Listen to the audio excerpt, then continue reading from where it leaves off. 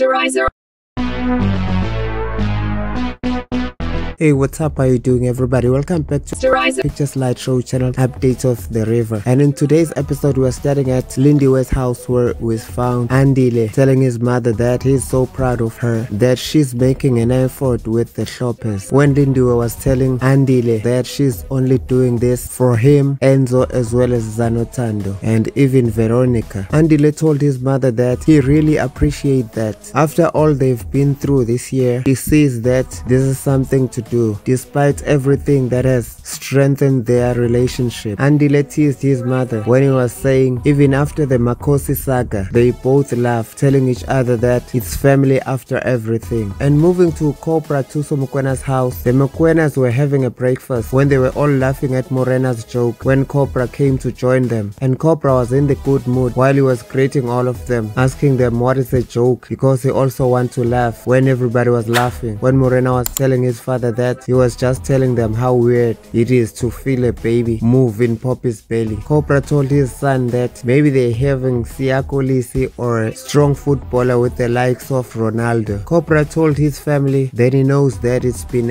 awkward for them to be around him. So the truth is that he felt so ashamed and guilty about all that happened. He said he have seen that he cannot just sit and dwell on self-pity. He must get up and go back to being the Mokoena they know. The Mokoena family told Cobra that they understand that he's been through a lot. Dimpo told her brother that he must remember that they'll never desert him. He's their black sheep and they love him just the way he is. Moving to the Oracle Hotel, Lindiwe was having a meal with Kwezi at a restaurant when Kwezi was telling Lindiwe that Zano is such a happy baby to think that she felt like that she'd be a terrible mother. But she's just made everything so easy for her. Even after this terrible ordeal, her poor baby's just been nothing but fast free. Kwezi continued saying that it's been great that something so life-threatening didn't steal their baby and it is such a miracle. And the way Lindiwe was looking at Kwezi, it was so weird. And Lindiwe wasn't responding so much to Kwezi except saying that mm.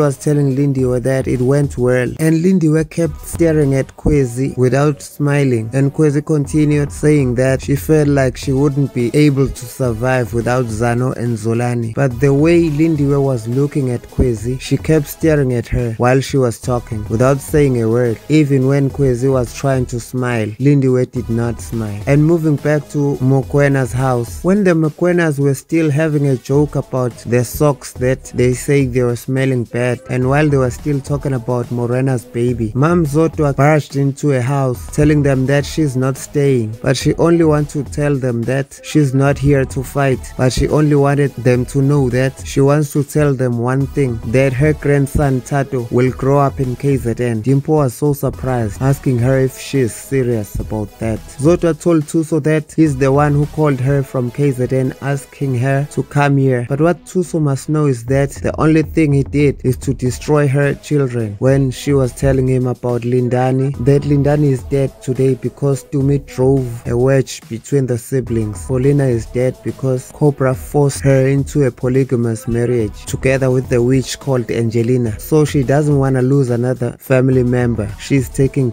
to KZN. She can't let him grow into this dark cloud that hangs over the Mokoenas. Cobra told Rakgadi to speak to Zodwa and Zodwa was sitting while Rakgadi told Dimpo to make some tea and going to Bukosi Shope's house. Lindiwe came with A4 envelopes telling them that she brought them some gifts so she handed over those envelopes to each one of them while she was telling them that they will get 7% of Kanyisa Diamond shares. And since Zanotando is the family's favorite, she will get 15%. But they were so surprised and shocked when they saw that Lindiwe brought them their pictures while they were at the lodge in Mpumalanga spending her money. Each one of them saw those pictures in shock while Lindiwe asking them where were they went to. Was it Mpumalanga or Atlanta? And at that moment, Lindiwe pointed the gun with a silencer at Ganiso and shot him. And Ganiso fell while Nomafu and Kwezi were crying for Ganiso. And moving to Cobra Thuso Mokoena's house, Dimpo was telling the family that the baby is not going anywhere. Thato is the family, while Morena agree with what Dimpo was saying. When Morena and Dimpo were both saying that Zodwa wants to dictate them, to control them, they have to go to court. And at that time, Cobra and Rakgadi were quiet. When Bonolo was trying to tell Dimpo that Zodwa is still a family member, Dimpo was so annoyed, saying that the child won't even know his own language, saying that Paulina and Lindani practically raised themselves. There was an argument between Bonolo, who was trying to tell Morena and Dimpo about Zodwa's side, that the poor woman found out that her daughter has been killed. Maybe she's actually trying to hold on on the last thing that is connecting her to Paulina. But